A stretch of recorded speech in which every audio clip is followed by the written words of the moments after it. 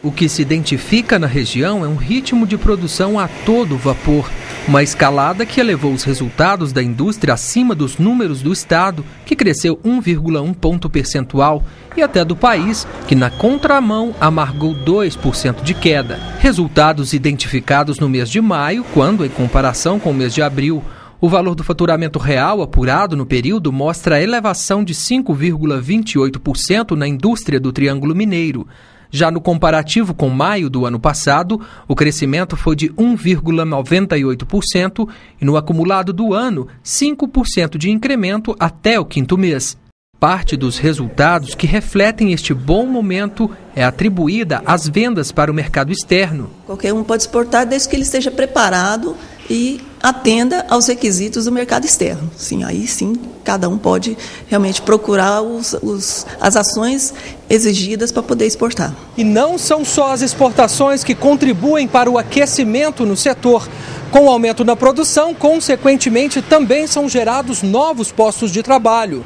Esta indústria química instalada no Distrito Industrial de Uberlândia teve incremento maior que 40% nos últimos três meses. O empresário revela que precisou contratar cinco novos colaboradores e, para continuar crescendo, já dispõe de mais cinco novas vagas. Nesses três últimos anos, nós crescemos 47%. Só nesse, nesse semestre, nós crescemos em torno de 20, 25%, 28%. Quer dizer, eu espero crescer muito mais do que isso, desde que eu tenha né, condições de, de construir uma fábrica, fábrica nova. Por isso, nós estamos correndo atrás de do, de, de, um novo eh, espaço, de um novo terreno. Mesmo quem registrou aumento menos acentuado comemora a estabilidade no segmento industrial. Aqui o tradicional doce mineiro ganha novos mercados. Desde maio que o empresário passou a comercializar também com o Espírito Santo e o Rio de Janeiro, aumentando para 12 o total de estados onde chegam os doces do Triângulo Mineiro.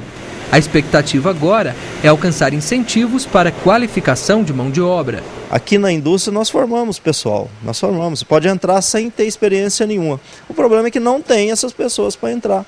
O mercado tem uma demanda grande, é, é, acredita que vai crescer, mas precisa de ter pessoas para trabalhar. Sem pessoas a indústria não cresce. Então, assim, o governo precisa realmente ver essa parte aí, como nos ajudar a captar novos funcionários ou mesmo velhos funcionários que queiram realmente ficar na indústria.